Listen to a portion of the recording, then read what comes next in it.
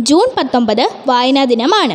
ഇപ്പോൾ ഓൺലൈൻ പഠനം നടക്കുന്ന സാഹചര്യത്തിൽ വായനാ ദിനത്തോടനുബന്ധിച്ച് സ്കൂളുകൾ ഗ്രന്ഥശാലകൾ ക്ലബ്ബുകൾ എന്നിവിടങ്ങൾ കേന്ദ്രീകരിച്ച് വിവിധ ക്യൂസ് മത്സരങ്ങൾ സംഘടിപ്പിക്കാനുള്ള ഏറ്റവും പുതിയ ചോദ്യങ്ങളും ഉത്തരങ്ങളും ഉൾക്കൊള്ളിച്ചുള്ള പാർട്ട് വൺ വീഡിയോയാണ് ഇവിടെ പങ്കുവയ്ക്കുന്നത്.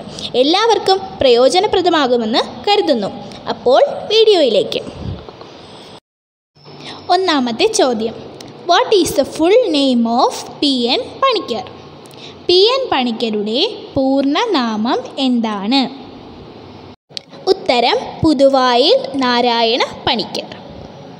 അപ്പോൾ പി എൻ പണിക്കറിനെ പറ്റി നമുക്ക് എന്തൊക്കെ അറിയാം? കേരളത്തിലെ ഗ്രന്ഥശാല പ്രസ്ഥാനത്തിന് തുടക്കം കുറിച്ച വ്യക്തിയാണ് പുതുവായിൽ നാരായണ പണിക്കർ എന്ന പി എൻ പണിക്കർ അദ്ദേഹത്തിന്റെ ചരമദിനമായ ജൂൺ പത്തൊമ്പത് കേരളത്തിൽ ആയിരത്തി തൊള്ളായിരത്തി തൊണ്ണൂറ്റിയാറ് മുതൽ വായനാ ദിനമായി ആചരിക്കുന്നു. ജൂൺ പത്തൊമ്പത് മുതൽ ഇരുപത്തഞ്ച് വരെയുള്ള ഒരാഴ്ച കേരളത്തിലെ വിദ്യാഭ്യാസ വകുപ്പ് വായനാ വാരമായി ആചരിക്കുന്നു.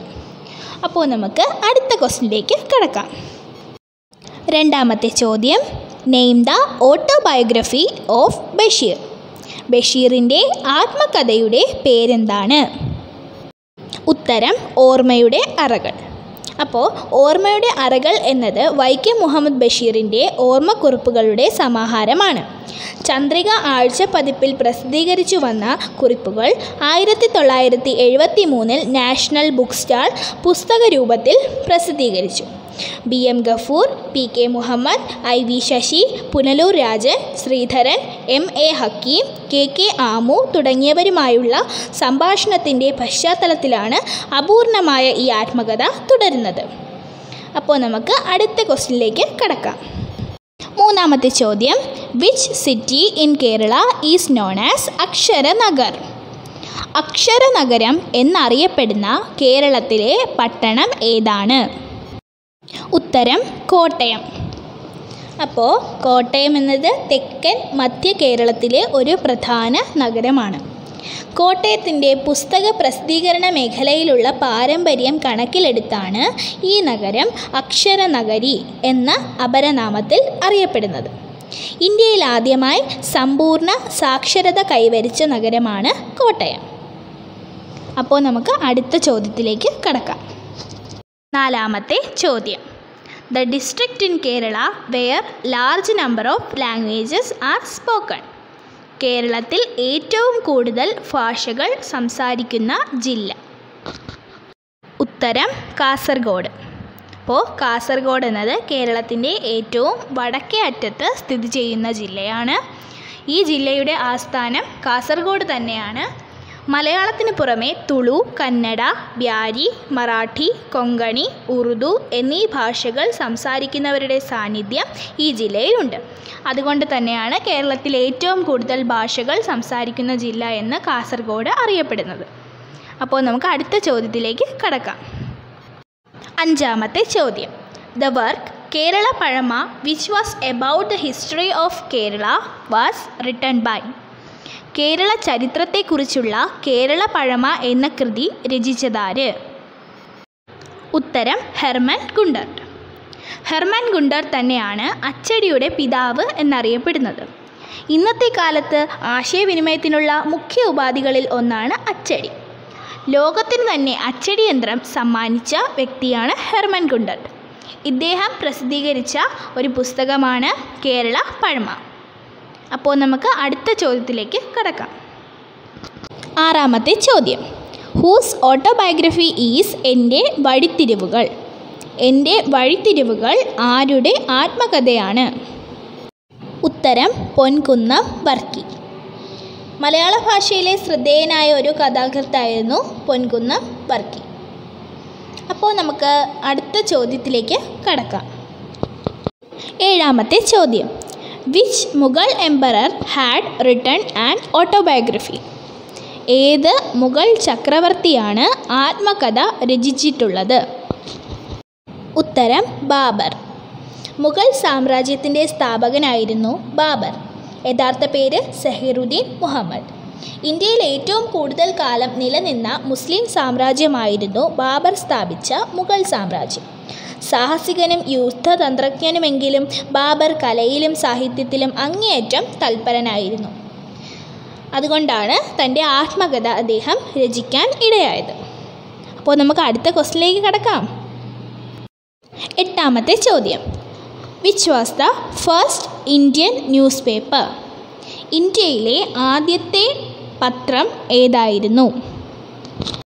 ഉത്തരം ബംഗാൾ ഗസറ്റ്. അപ്പോൾ ബംഗാൾ ഗസറ്റ് എന്നതായിരുന്നു ഇന്ത്യയിലെ ആദ്യത്തെ ന്യൂസ് പേപ്പർ അപ്പോൾ ഇതിന്റെ പബ്ലിഷർ എന്ന് പറയുന്നത് ജെയിംസ് അഗസ്റ്റസ് ഹിക്കി ആയിരുന്നു. ഇതാദ്യമായി പബ്ലിഷ് ചെയ്തത് കൊൽക്കട്ടയിലാണ്. മാത്രമല്ല ഇത് ആദ്യമായി പബ്ലിഷ് ചെയ്തത് ആയിരത്തി എഴുന്നൂറ്റി എൺപത്തിരണ്ട് മാർച്ച് മുപ്പതിനായിരുന്നു. അപ്പോൾ നമുക്ക് അടുത്ത ചോദ്യത്തിലേക്ക് കടക്കാം. ഒൻപതാമത്തെ ചോദ്യം. Who is the father of library in Kerala കേരളത്തിൽ ലൈബ്രറിയുടെ പിതാവ് എന്നറിയപ്പെടുന്ന വ്യക്തി ആരാണ്? ഉത്തരം പി. എൻ. പണിക്കർ അഥവാ പുതുവായിൽ നാരായണ പണിക്കർ. അപ്പോൾ നമുക്ക് അടുത്ത ചോദ്യത്തിലേക്ക് കടക്കാം. പത്താമത്തെ ചോദ്യം which organisation founded by P N Panicker to activate literacy activities in Kerala കേരളത്തിലെ സാക്ഷരതാ പ്രവർത്തനങ്ങൾ സജീവമാക്കാൻ പി എൻ പണിക്കർ തുടങ്ങിയ സംഘടന. ഉത്തരം Kanfed K A N F E D അപ്പോൾ ഈ ക്യാൻഫെഡ് എന്ന ഓർഗനൈസേഷൻ യുവാക്കളിൽ വായനശീലം വർദ്ധിപ്പിക്കാനായി പി എൻ പണിക്കർ ലക്ഷ്യമിട്ട ഒരു ഓർഗനൈസേഷനാണ് ക്യാൻഫെഡ് ഓർഗനൈസേഷൻ. അപ്പോൾ നമുക്ക് അടുത്ത ചോദ്യത്തിലേക്ക് കടക്കാം. പതിനൊന്നാമത്തെ ചോദ്യം. ഫുൾ ഫോം ഓഫ് കാൻഫെഡ് കാൻഫെഡിന്റെ പൂർണരൂപം എന്താണ്? അപ്പോൾ എന്താണ് കാൻഫെഡിന്റെ full form Kerala association for non formal education and development അപ്പോൾ ഈ ഒരു ഓർഗനൈസേഷന്റെ ഫൗണ്ടർ ആരാണ്? അതെ പി എൻ പണിക്കരാണ്. അപ്പോൾ നമുക്ക് അടുത്ത ചോദ്യത്തിലേക്ക് കടക്കാം. പന്ത്രണ്ടാമത്തെ ചോദ്യം. From which year did June nineteen as reading day begins to be observed ഏത് വർഷം മുതലാണ് ജൂൺ പത്തൊമ്പത് വായനാ ദിനമായി ആചരിച്ച് വരുന്നത്? അപ്പോൾ എന്ന് മുതലാണ് ജൂൺ പത്തൊമ്പത് വായനാ ദിനമായി ആചരിക്കുന്നത്? അതെ ആയിരത്തി തൊള്ളായിരത്തി തൊണ്ണൂറ്റി ആറ് മുതൽ കേരള സർക്കാർ ജൂൺ പത്തൊമ്പത് വായനാ ദിനമായി ആചരിക്കുന്നു. ജൂൺ പത്തൊമ്പത് മുതൽ ഇരുപത്തഞ്ച് വരെയുള്ള ഒരാഴ്ച വായന വാരമായും കേരള വിദ്യാഭ്യാസ വകുപ്പ് ആചരിക്കുന്നു. കേരള ഗ്രന്ഥശാല സംഘത്തിന്റെ ഉപജ്ഞാതാവും പ്രചാരകനുമായിരുന്ന പുതുവായിൽ നാരായണ പണിക്കർ എന്ന പി എൻ പണിക്കരുടെ ചരമദിനമാണ് ജൂൺ പത്തൊമ്പത്. കേരള സർക്കാർ ആയിരത്തി തൊള്ളായിരത്തി തൊണ്ണൂറ്റിയാറ് മുതൽ അദ്ദേഹത്തിന്റെ ചരമദിനം വായനാ ദിനമായി ആചരിക്കുന്നു. അപ്പോൾ നമുക്ക് അടുത്ത ചോദ്യത്തിലേക്ക് കടക്കാം. പതിമൂന്നാമത്തെ ചോദ്യം. Who is the author of world's oldest extant grammar ലോകത്തിലെ നിലവിലുള്ള ഏറ്റവും പുരാതന വ്യാകരണ പുസ്തകത്തിന്റെ രചയിതാവ്. ഉത്തരം അഷ്ടധ്യായി. അപ്പോൾ ലോകത്തിലെ നിലവിലുള്ള ഏറ്റവും പുരാതനമായ വ്യാകരണ പുസ്തകം പാണിനിയാണ്. അതിന്റെ രചയിതാവാരാണ് അഷ്ടധ്യായി. അപ്പോൾ നമുക്ക് അടുത്ത ചോദ്യത്തിലേക്ക് കടക്കാം. പതിനാലാമത്തെ ചോദ്യം. Which is the world's oldest university press ലോകത്തിലെ ഏറ്റവും പഴക്കം ചെന്ന യൂണിവേഴ്സിറ്റി പ്രസ് ഏതാണ്? ഉത്തരം ഓക്സ്ഫോർഡ് യൂണിവേഴ്സിറ്റി പ്രസ്. അപ്പോൾ നമ്മുടെ ഓക്സ്ഫോർഡ് യൂണിവേഴ്സിറ്റി പ്രസ് ജെറിച്ചോയിലെ വാൾട്ടൺ സ്ട്രീറ്റിലാണ് സ്ഥിതി ചെയ്യുന്നത്. ഇത് എസ്റ്റാബ്ലിഷ് ചെയ്തത് സെവന്റീൻ സെഞ്ചുറിയിലാണ് പതിനേഴാം നൂറ്റാണ്ടിലാണ്. അപ്പോൾ നമുക്ക് അടുത്ത ചോദ്യത്തിലേക്ക് കടക്കാം. പതിനഞ്ചാമത്തെ ചോദ്യം.